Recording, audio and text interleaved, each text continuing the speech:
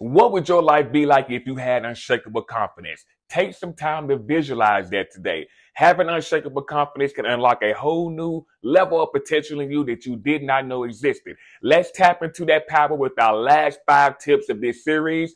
Be sure to watch this video in its entirety though, because I have some very special announcements at the end of this video about this channel, and I want you to be able to stay in the loop. So freedom walkers, let's get right into it. Tips 36 through 40. Number 36, how do you keep your confidence high when facing problems and challenges in life? by focusing on solutions, not problems. There is a solution to every problem that you face in life, and that alone should not only build your confidence, but stabilize it as well. Whenever you face a challenge, concentrate on finding solutions rather than dwelling on the problem. If you understand there is a solution that will build your confidence, if you're taking the necessary steps towards that solution, that should further build your confidence because you know sooner or later the issue will be resolved. So boost your confidence by always remaining focused on the solution.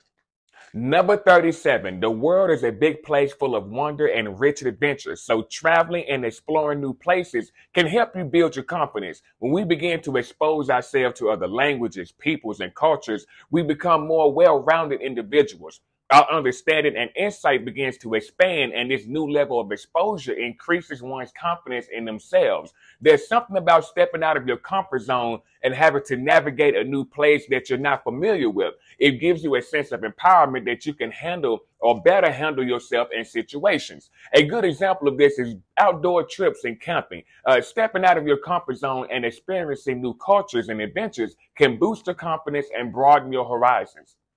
Number 38, you will receive this when you ask for it and sometimes when you don't ask for it, but learn to handle criticism. Accept feedback gracefully, use it constructively, and view it as an opportunity to improve. Now, have the maturity to know when someone is trying to help or verbally bring you harm. I've had a lot of criticism in my life when I knew right on the spot this person is way off right now and missing a lot of details. So all criticism won't help you. A few people will try to give you criticism, but they're too far on the outside to understand you or the situation fully. But be sure to train your mind regardless to take criticism gracefully. After you hear your criticism, analyze it truthfully, take away what's needed truthfully, and disregard the rest.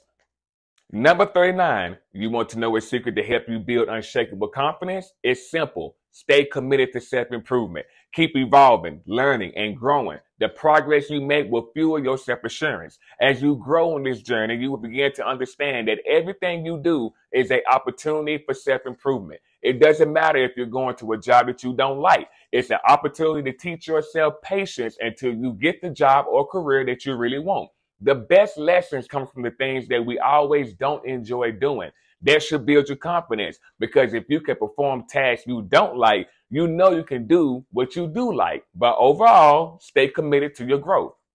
Number 40, you cannot sustain your confidence or personal growth if you do not do this tip, and that surround yourself with inspiration. Surround yourself with books, quotes, or images that motivate and inspire you to stay confident and optimistic. Look, we live in a tough world and you are at war. This war is waged on your mind and it will shape your perspectives and thoughts, and those will become your reality. You have the power to conquer this by using these type of weapons, books, quotes, journaling, photos.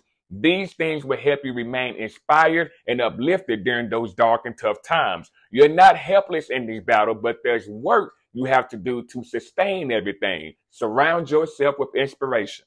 Special announcements. The month of December is going to be all about preparing you for 2024. I'm going to release not one, but two daily shorts. All right. One short would be all about what you can do to have a successful 2024. And the other would be something fun for the holidays. I'll reveal more about that in due time.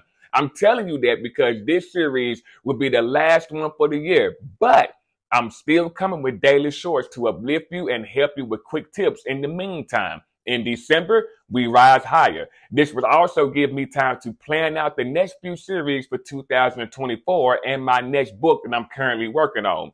Don't forget, I'll put a link in the descriptions uh, below to my social media and book author page, so be sure to check that out.